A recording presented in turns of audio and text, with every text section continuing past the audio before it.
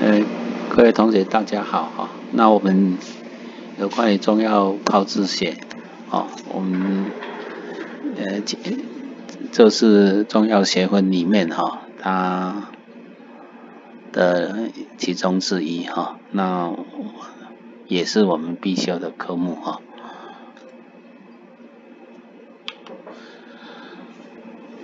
那我们可能有关于哈，呃，会使用的参考文献哈，大概有这些哈。那我们大概就是以，呃，以我们童成虎童老师的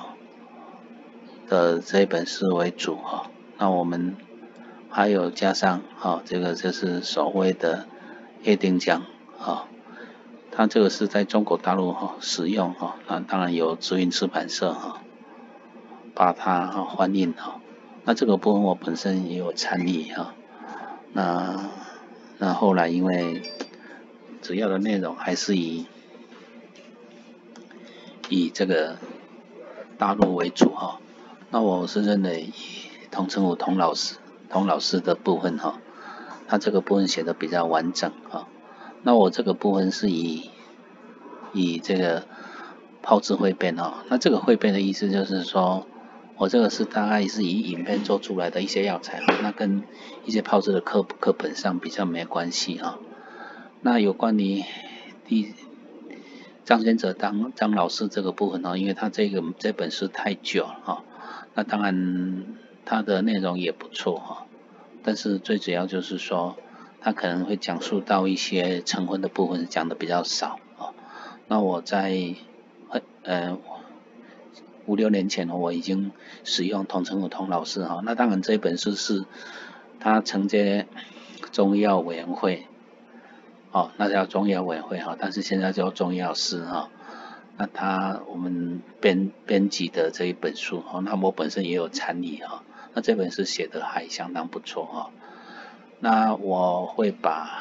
同城的童老师里面哦，因为他的基验哦都是抄台湾中药典第二版，那我现在会用台湾中药典哦这个第三版哦，那我可能除了第三版之外，我还会再加入哦未来的台湾中药典第四版好，那第四版会在今年的的差不多哦年底哦会出版哈。那这个赖赖赖上次赖老师这一本书是呃前阵子出版，但是我是认为它内容太少啊。那这个部分就是有叶定江叶老师的哈，那我这个同城后同同主任的部分，那这个是我编的啊，那这是张先哲台湾中药的第三版啊，那大概是这样。那我们再看第一章啊，就是所谓的细论哈。那其实，在中药炮制的部分哈，其实大家可能对炮制的的的有关你的印象哈，比较呃不是一个呃非常了解哈。其实炮制非常简单的意义就是说，就是好像我们在在在把一个东西啊，把它煮熟啊，那煮熟之后，其实它跟啊像像生的。肉哦，把它煮熟之后哦，变熟的肉哈，那当然这个也叫做泡制哈。那还有就是像说我们煮饭呐，哦用米你把它煮成煮成呃饭呐哈，那当然这个也以广义来讲都是属于泡制啊。啊，那当然跟我们在坊间的所谓的食品加工其实很类似啊。那食品加工它它比较强调就是在于。以食品的这个色香味哈，那我们泡制就是强调在药材的一些泡制之后的成分的变化，然后才会产生疗效的变化。那我们在这个的话，你泡制它的它的很多的名词哈，那古代它有所谓的泡制啊、修制啊、修饰啊哈，其实这个都叫做泡制的名词哈。那其实泡制它本身哈。它的一个概念哦，就是说，它本身要经过中医传统的制药技术的统称哈，那使中药材根据啊它的医药的理论哈，那当然我们常常讲中药会跟外国它最大的不一样，就是说因为中药它有经过啊所谓的辩证论治，那辩证论治之后，它然后按照不同的炮制的结果哦，然后产生不同的药物哈，那这个是台湾的一些中药跟外国的中草药最大的不一样啊。那我们所谓的呃辩证论治这个部分哈，我们在下学期的方剂学我们会来讲。那我们首先哈，先中药材啊，它一般哦哦就不不直接入药哦。那所谓的中药材就是说，我们把药材啊，采收起来，那采收起来，这个叫做中药材。那你要经过泡制，泡制之后，我们称它叫做中药的饮片。啊，那中药饮片的话，哦，你如果是到我们一般的药房，哦，可以可以给它做饮片的一些调制啦，哦，那也可以到中药厂，哦，那他他就把这些饮片就把它浓缩做成浓缩的这个制剂，啊，那当然浓缩制剂它分为。所谓的传统制剂跟所谓的的的浓缩，呃传传统跟浓缩两种哦，还是这样。那这个部分是有关于中药材哦，在我们药典的一些定义哈，什么叫做中药材，什么叫做饮片，什么哦哦，那当然这个我中药材大概有跟你讲，就是说，其实我们的中药材来来自我们自然界，包括了植物。动物啊，矿物啊啊等等的这一些啊，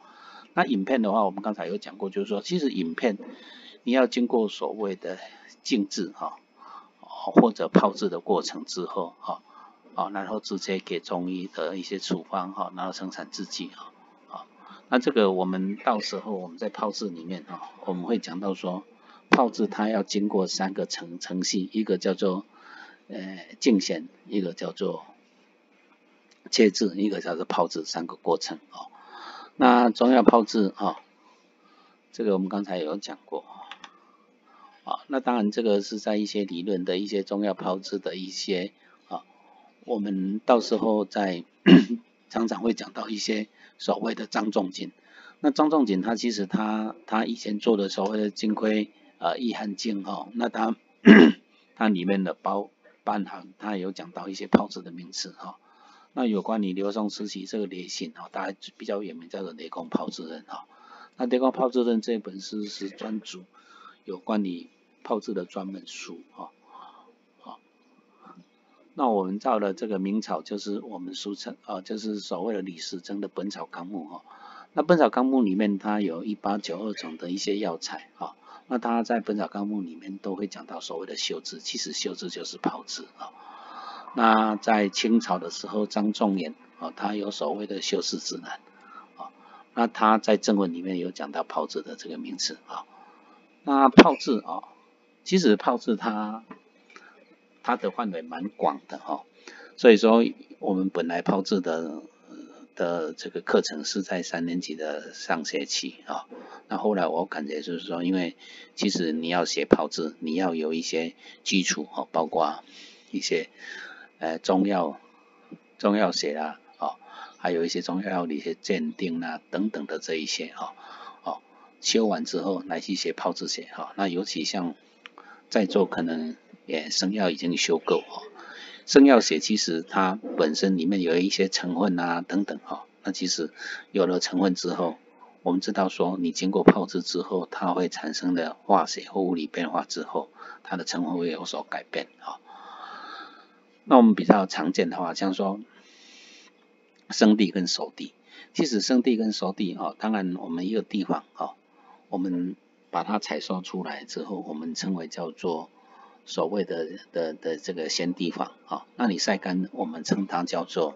所谓的生地方。好，那你经过九重九晒之后，我们称为叫做熟地方。好，那它其实它的作用上会有所不一样。生地方原则上它是比较凉些。熟地方它是比较补血，还有哈比较比较有名的话叫做银狐手啊，那银狐手的话，当然它是属于银丝科的植物哈，那你你你你经过哈这个吃制之后哈啊，它会变成啊这个所谓的次次的盐湖手。啊，那它的有效成分它比较容易释出哈。那盐湖手它的一些生物碱大部分都是以三基胺的生物碱存在，你用醋下去泡制之后，它会变成所谓的四基胺盐啊。那你四级胺联之后的盐湖手之后，它会增强它它这个止痛的功能。那这个我们第一章大概呃第一章的第一节，我们大概是把把整个重要的泡制的一些啊这个基础理论等等哈，跟大家稍微再微讲一下哈。然后我们第二节来来去讲到中药炮制的一些起源啊。那起源当然我们有关于中药炮制的起源，其实说实在的，呃，如果是说以广泛来讲哈，有火的发明，哦哦，就有所谓的炮制，哈。那我们在历历史里面有记载的话，大概从皇帝之后，哈，但是皇帝之前的话，我们有很多的一些古人的一些传说之后，哈，有一个叫做神农氏，哈，那神农尝百草，哈。那神农尝百草，其实神农氏呃到底有这个人有没有这个人，我们也不大晓得哈。但是我们可能在庙里面，我们常常会去看到啊庙里面有一个呃脸脸黑黑的啊，那不像人的这个，那这个叫做神农氏哈。那神农氏哦，其实他本身我们常常在开玩笑说，呃神农尝百草是尝到后来啊就是中毒啊，然后脸色花花黑哈。那其实你在庙里面看到，啊，有一个庙哈，那呃的的的的这个神明哈，他本身的这个呃脸脸是黑黑的哈，那不像人啊，这个就是我们神农氏哈。那神农氏尝百草之后哈，当然到了随着有皇帝之后哦，他有一些历史的记载之后哈。哦，渐渐有很多的一些书本哈，但是即使在皇皇帝时期的一些历史记载，有一些书本哈，即使在秦始皇之前哈，已经把它哦呃把它燃烧掉哈，其实是相当可惜的哈。那我们在这个时期里面，我们发现说重要的炮制哈，大概是以所谓的洗净啦，还有切制等等哈，作为一些萌芽哈。那我刚才也跟大家稍微讲一下说。有火的发明哈，其实它本身就有开始有所谓的炮制哈，好，那我们刚才有讲到说由生变熟哈，那其实这个就是我们很多的一些呃炮制的演绎哈。当然在我们坊间常常我们会看到说，哎，吃的生菜沙拉啦哈，吃的所谓的日本料理啊哈，其实这个呃吃多其实对我们人体来讲是不好的哦哦，那最好还是稍微煮熟会比较好。那我们在历史呃，就是说皇帝之前哈，当然在我们从古代的一些啊，像说石器时代啦哈，掌握了火，有所谓的手史啊啊等等哈。那这个有的火的发明之后哈，当然它本身啊就会会会有有有生变熟啦等等哈。那当然这个就是在炮制啊，其实炮制它最大的两个意义，一个就是所谓的降低毒性啊。第二个话就是增强疗效啊，那那降低毒性的话，我们就是说由生变熟。那熟的话，有一些呃药材也好哈，有一些食物也好，你把它煮熟之后，其实它造成的副作用就会比较低啊。然后再来就是说有有火就是加热，另外一个话就是说我们在泡制吃的加热的变化之外，还有就是说我们加热。呃的过程中，哈，你会加入一些，哈，就是像说我们在煮东西，我们会加一些所谓的受香味，哈的一些，好像像油啦，哦，那酱油等等的这一些东西，哈，那其实我们泡制里面，哈，也是一个非常重要的话，就是说加入的这一些呃色香味的东西，也不是说它它最主要就是以酒，啊，那酒的话，当然就是所谓的一呃一体的辅料，哈。那那酒跟醋哦，其实它是一个说实在的，它本身的的就是说你酒把它发酵比较完全哦，就是我们称为叫做醋哦。那酒跟醋哦，其实在我们中药的泡制里面是一个非常重要的一个辅料哈。那这个是属于一体辅料啊。那当然它也有固体的辅料。那固体的辅料我们比较常见的话，像说麦麸啦、米啦啊啊，那土啦啊。沙啦，好，那这个都是属于固体的辅料啊，大概是这样哈。那这个其他这个你们自己参考哈。然后到了所谓的商朝啊，那商朝的话，当然它是在所谓的周哦，就是所谓的周朝之前哈。那周朝它分为所谓的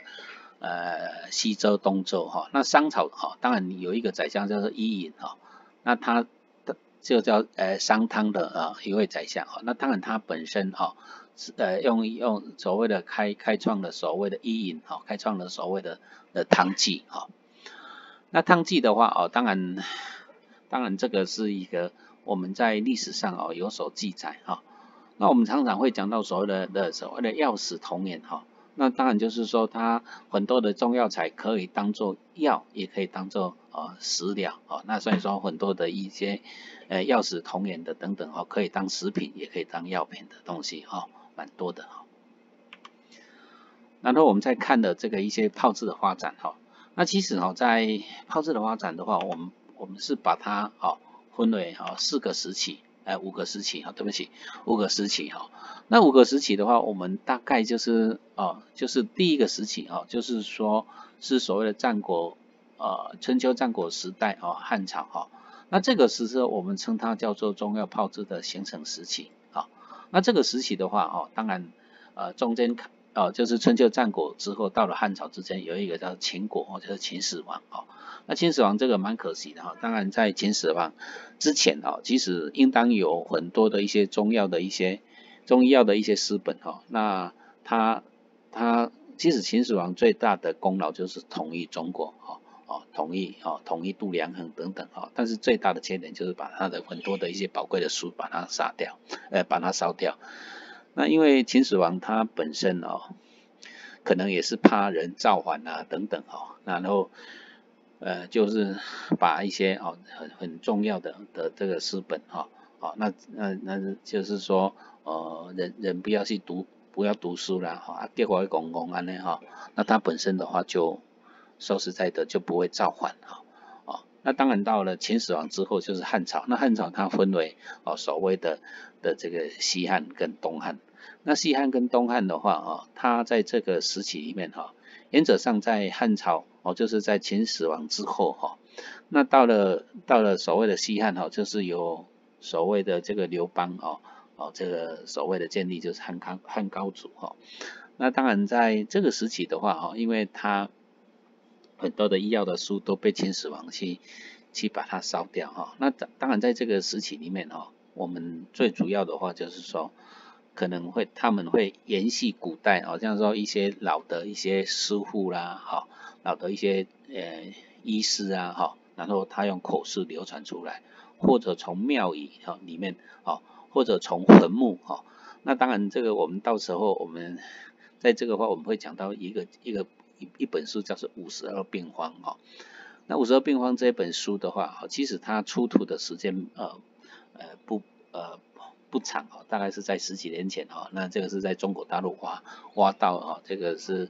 呃也在在这个战国时期哈，一个这个马王的的这个皇后里面哈，就是把它挖出来的这个这个这个这棺木啊，那棺木当然它旁边哈有这个所谓的这个这个放的医药的书哈，还有一些呃这个呃。所谓的保障了哈，但是医药的书里面哦，非常重要的一本书叫做《五十二病方》哦，这个我们等一下我们再来讨论哈。那三三国时期，当然这个大家都不会很陌生哈。那三国哈，当然就是我们有曹操啦哈，孙权刘备哈。那这个三国时期哈，然后到了这个所谓的隋唐哈五代哈，那这个时期的话，当然是为重要的这个初形成时期哈。那到了这个宋朝跟元朝哈，尤其在宋朝哈，其实在我们中药的炮制里面啊，在宋朝是一个非常完备为为集大成哈。那在宋朝时期哈，即使在宋朝之前哈，啊，说实在的，这个他们的医药的话哈，当然当然还是慢慢的萌芽哈。到了到了宋朝之后哈，他们很多很多的一些呃医药的这个。呃，人哈就非常的完备哈。那宋朝当然有一个就是赵匡胤哈，这个皇帝哈。那当然他本身怕怕怕造反呐，哈，所以说有一些他都会任用这个文官当武官用哈。那那后来这个这个文官哦，当然不会打仗哦，所以说我们从北汉慢慢被这个匈奴一直打打到了这个南宋哈。那南到到了这个南方，南方的话，当然它在这个开封哦，开封就是我们现在俗称的南京哦，那这个地方哈，那那那宋朝，当然它它在在我们重要的这个发展也好哦，那其实也不止重要啦，其实呃包括我们很多的文艺啦哈，像一些陶瓷等等哈，其实在宋朝也是相当不错的哈。那元朝当然就是。其实元朝哦，跟跟清朝哈，其实这两个朝朝代哈，哦，我们如果是说以中国来讲，都是以汉人为主了哈。如果是说元朝跟宋朝，其实这个都不是哦，不是以这个呃汉汉汉汉人为主了哦。所以说，其实如果是以以以比较呃以汉朝为中心，哎，以汉人为中心的话。来讲哈，其实在中国的历史上哈，有有两个朝代是被被断掉的哈，就是在元朝跟清朝哈。那到了明朝哈，当然这个就是好，就是为中药发展的这个时期啊啊。那当然这个明朝比较有名的话哦，加上像李时珍呐哈啊这一些哈啊。那现代的话哦，当然现代哦，当然就是有哦，这个就是有国民政府哦哦，我们这个呃。国父哈，这个孙中山先生哈创立之后，哦，当然到后来就就遇到了所谓的这个呃北伐啦、抗战啦，哈，那抗战完之后，哦，其实其实在就就就呃中国共产党哦就就就就已经把占据了中国哦，那当然呃中华人民共和国哈，当然他又卡到。这个毛泽东哦，有所谓的这个文化大革命哦，其实这个时期其实都不是一个非非非常成熟的时期哈。那到了这个所谓的这个这个邓小平之后哈，其实他才慢慢的发展哈。那其实，在我们知道台湾哦，就是由国民政府就流亡到了台湾哈。那其实，在炮制里面哦，比较有名应当是属于啊台湾哈。那我们在我们先把这个刚才所讲的稍微再再做稍微一点人略哈，就是说春秋战国时代哈到汉朝哈，那第一个非非常有名就是五十二兵法哈，那这个我刚才也跟大家稍微讲一下，就是说五十二兵法这本书哈，它是从这个这个马王哈马王的的的一个皇后里面哈，呃这个呃把它好这个挖出来哈。所以说，在在战国时期哈，那当然它它里面有收在有两百八十三个处方哈啊，那处方里面它也有一些零星的炮制哈，那炮制当然就是所谓的精选切制啊等等的这一些哈，当然这边大家会想到血衣炭啊，血衣炭是什么知道吗？哦，就是我们我们的头发哈，那头发你把它哦要要断烧哈，那那它它是用密闭式断法哈。那你断了之后，它具有止血的这个作用啊。那其实它在这本书里面都有收集到啊。那当然哦，除了这个呃《黄帝内经》哦，其实《黄帝内经》有一些人认为说是属于啊这个汉汉朝之后的一些著作了哈。那当然这个呃还是要去做考据哈。那当然在《黄帝内经》里面有讲到这个呃半夏哈。其实半夏我们在炮制里面哦非常重要的哈，半夏它有所谓的呃炮制哦，当然生的半夏它本身是有毒性的啊。那你如果你如果是经过炮制之后，我们在坊间里面我们比较呃常见有三三种炮制的半夏，一个叫做所谓的姜半夏，一个叫做滑半夏，一个叫做青半夏啊。那当然在所谓的青半夏，它它非常简单呐，它是用那个。用用明矾哈，明矾水哈，然后用把生半夏哈浸泡的方式哈。另外一个叫做所谓的这个姜半夏，那半姜半夏它是用姜哦跟这个明矾哈，然后经过加热的过程哈。另外一个叫做滑半夏哈，那就是华丽的滑哈，滑半夏。滑半夏的话，它是用用这个呃甘草跟石灰水哈，那进行泡制哈。那我们在坊间哦，常常会讲到说半夏哈，它它就有三种哦。那那其实我们有去做调查，然后在坊间里面比较常见还是以姜半夏为主哈。但是因为泡泡呃半夏的种类非常的多哈，本来我们在今年的台湾中药典第四版哈，也也想把半夏把它列入药典里面哈，但是很多人认为说，因为泡泡制的这个种类啦，还有一些泡制的方法哈，不是我所讲的这么简单哈。后来我们很多的委员就建议说，暂时哈不把泡制的部分哈把它列入哈，但是唯独有列入的话，就是所谓的饮片。饮片就是说你没有经过所谓的净咸啊切制哈，但是没有经过泡制加热的过程中，哦这种饮片的话，我们是把它列入哈。那有关于你经过加热过程会产生一些变化啦等等哦，这个是我们原则上我们在台湾中药典未来的第四版里面是没有把它加入。那那你会我们你会问啊，那怎么中国大陆会会会加进去？好，那其实。中国大陆哦，它很多泡制品都有加进去啊，但是我是认为，呃，当然可能呃他们比较大胆吧。我们台湾哦，这个大概比较严谨哦，所以说原则上我们就没有把它加入哈。那我们在这个时期，我们刚才跟大家讲一下，就是一些历代的一些哈，还有一些个别简单哈。那当然又加上了所谓的秦始皇哈，就是燃烧了一些。啊，这个所以说，在这个时期里面哈，我们原则上我们看到的一些炮制都是一些零星简单的炮制为原则哈。那这个我们刚才有讲过，就是说，其实在所谓的春秋战国汉朝时期哈，啊，那那到了像说汤剂哈，那尤其在商朝了哈，那春秋战国食材。时期的话，哈，那当然我们刚才所讲的五十二边黄啊，好这一些，哈，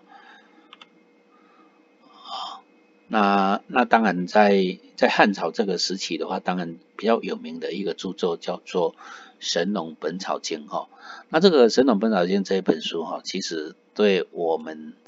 呃写本草学来讲是一个非常重要哈，那当然呃我们大概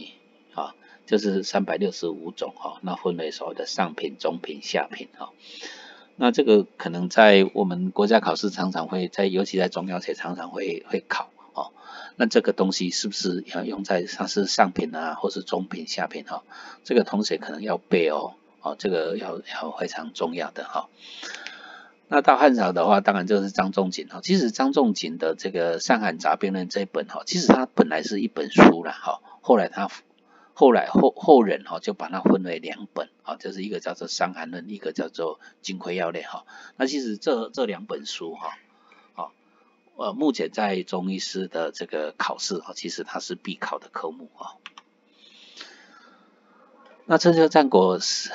到了汉朝时期哈，那当然这个我们刚才有讲过，其实它本身都是一个比较属于零星的一些哈。那以净咸啊、切制啦，哈，那这方面为多哈。那当然加热的过程中哈比较少了，好像像火制啦、哈秘制哈。那当然的理论基础上哈，比较不是这么零零碎碎，比较不是非常的完整哈。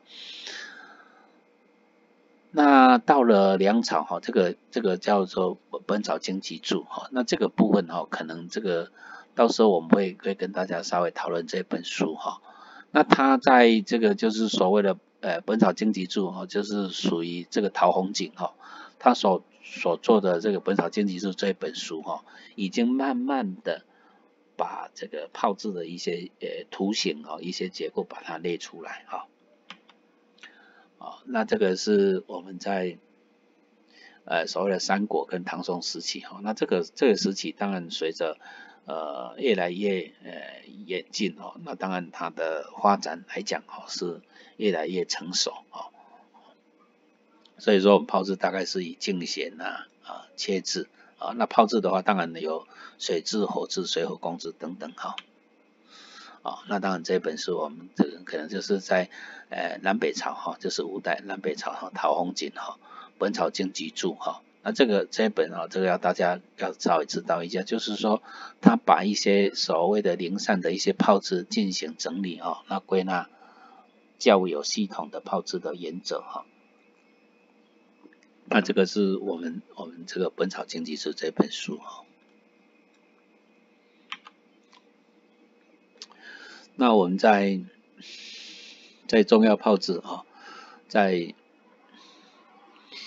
在《本草经济注》里面哈，它其他的就是所谓的这个活药分分剂啊料制法哈，那它就整理的非常的完整哈，这个就是在《本草经济注》里面哈，啊，它就有净贤、切制、炮制哈，那当然净贤哈，其实净贤的意思就是把非药用部分哈啊或者呃，把这个十二杂质清除，好，这个是所谓的净贤。切制的话，当然就是要用不同的方式下去切啊。那切的方式的话，当然有不同的的切法哈。当然我们在切的话，尽量就是越切越薄越好啊。但是问题就是说，你切的越薄哈，那可能可能在影片会会破掉啦等等哈。好，那我们就是尽量把它切的越薄越好。那那泡制的这个部分的话，我们就是要经过加热哈。那加热的方式哈，当然呃很多的随着温度哈的的的这个不一样哈。那那其实温度比较低的哈，像说炒啊，有所谓的炒黄、炒焦、炒炭哈。那炒的话，其实我们在温度里面炒黄大概是在差不多在一百七到一百九啊。那那炒炒焦的话，大概是在一百九到两百一啊，那炒炭的话大概是在两百度左右哈，哦大概是这样。那炒的话，当然当然这是其他的温度，那那那当然炒之后还有所谓的断，那断的温度上就会比炒的温度还高哦。那断的呃这个烫的温度呃烫啊断啊哈，那烫哦这个是我们所谓的断哈，哦那。那那有炒哈，那炒的话，我我们大概就是刚才所讲的，大概是在两呃一百多到两百左右哈。那烫的话，其实它的温度哈，就是呃烫青菜的那些烫哈。那烫的温度大概是在两百到三百，那断的话大概是在呃三百到七百哈的的这一些的温度上哈，大概是这样哈。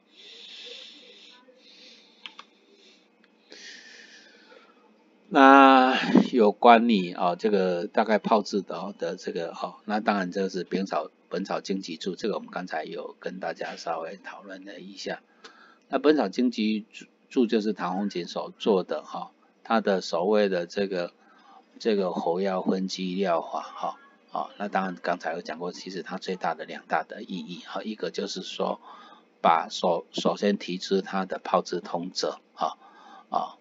然后再来就是说首次哦归纳把它整理出来哈，那当然这是一些两大的一个突破性哈。那我们到了这个呃所谓的这个呃宋朝跟元元朝，我们刚才有讲过，就是说尤其唐朝啊宋朝啊这个呃都是在中国历史上都非常强盛哈。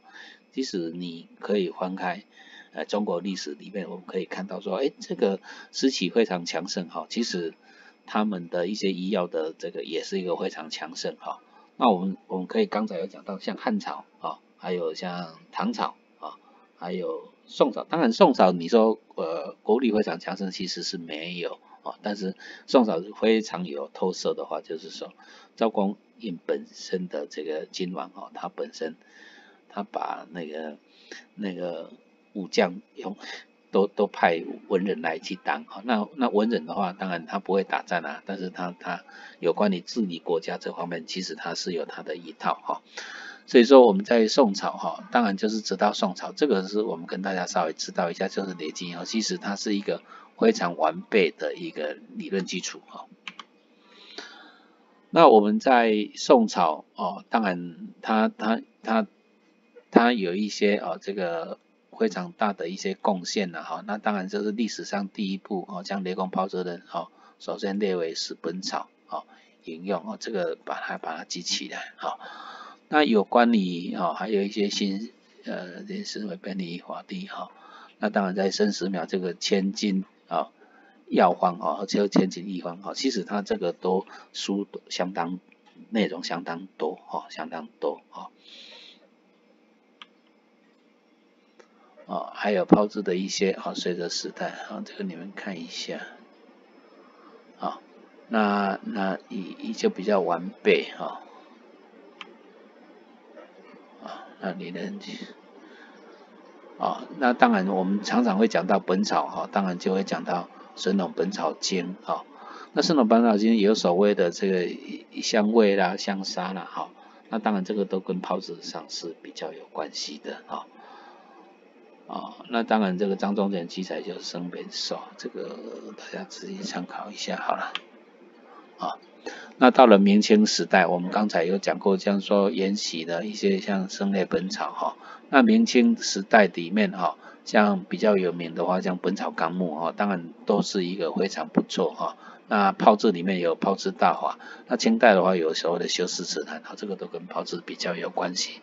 哦，那当然这边有讲到本草经，这个是属于呃这个南北朝时代的这个哈的这个陶弘景所做的这一些。好，那比较有名的话，本身《本草经》和《本草拾遗》啊。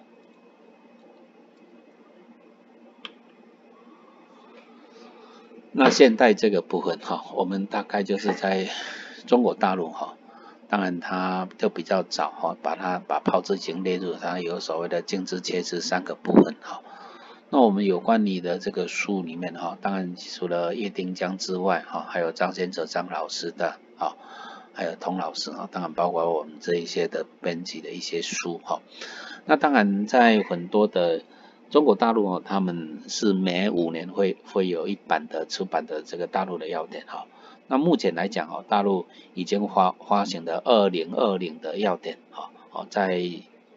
去年就就已经出版哈。那台湾的话，啊，当然它就没有像大陆哈这个没没那么有规则哈，啊，台湾的话，啊，其实你看一下，就是台湾的这个要点里面啊，从九十三年是第一版啊，这个是我都常常讲哈，这一版叫做中华中药点哈，那但是后来哈，这是。民进党执政之后，就把它改为叫做呃呃这个叫做传统哈传统药典哈，但是我是认为从改之后好像都没有印哈。那我们第二版的话哈，当然就把它改为叫做台湾中药典好，然后像现在已经哦已经到了第三版好，那就是在啊一哎哎一一零七年啊一零七好一明。民国一百零七年哈，就是有第三版哈。那我们在今年呢，我们也会发发行哈所谓的第四版啊，第四版啊。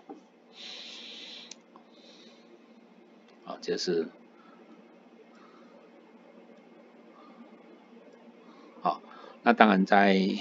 在我们第四版里面哈，都增加了所谓的重要的影片哈。那其实它在第二版没有哈，第二版没有。那大概有二十新增了二十九项的影片啊，就把它记起来哈。那这个在一百零七年哦，这个中药师哈，他们有呃制定了一个叫做中医药发展法哈。那这个可能就是跟中医药比较有关系哈。那这个可能在做以后药师法规可能也会会读到哈，就是。就是所谓的中医药发展法，到底它在讲述什么？那它总共有二十四条啊，二十四条的规定啊。那比较有关系的话，就是说它会有一些呃呃中药的一些研究发展啊，中药制剂的开发啦，哈，药用植物的一些种植啦，哈。啊，那当然它有讲到一些中药的源头管理啦，哈。然后还有一些成都啊，台湾的。呃，土地呀，好，还有国营事业种植一些中草药，啊，